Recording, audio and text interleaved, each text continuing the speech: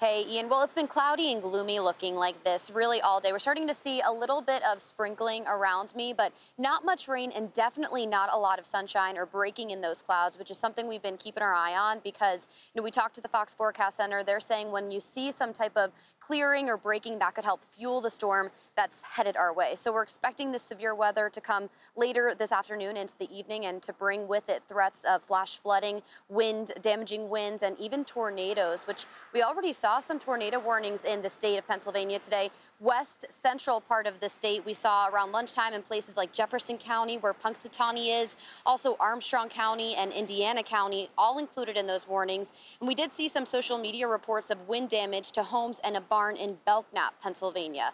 But the severe weather is still making its way towards us here in Philadelphia. The National Weather Service actually upped the threat level from a level two to a level three.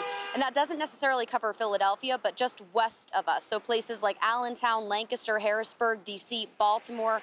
Wind is going to be the biggest concern. We're expecting a max of about 50 to 60 mile per hour wind gusts. I've been talking to people here walking around in Philadelphia today because the rain really hasn't started yet. So there are some people out and about. I met Julia, who's actually from Minnesota, but she works from home. So she decided to spend the week here just to have a change of scenery. And she had such an interesting take. She said, you know, the weather is different here because in Minnesota, it just rains. But here, it teases you before it rains. Listen.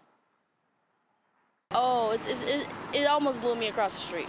It's been really windy, like really, really windy. I felt a few drops, um, so it does seem like it's gonna rain, but it hasn't yet. So earlier today, it's it was like, I don't know, little sprinkles.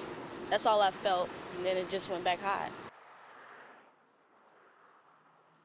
Now, of course, as we look towards the severe weather coming to the area, it's always good to think about where you're going to want to go if a warning comes near you. So a place like a basement or somewhere with no windows, somewhere interior inside your house. And think about what you want to do with your pets, too.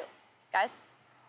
Yeah, that powerful line of storm still well back to your west, but we're going to be tracking it every step of the way. As it finally moves to the east coast, we can get this severe weather behind us. Fox Weather's Katie Byrne, thank you very much.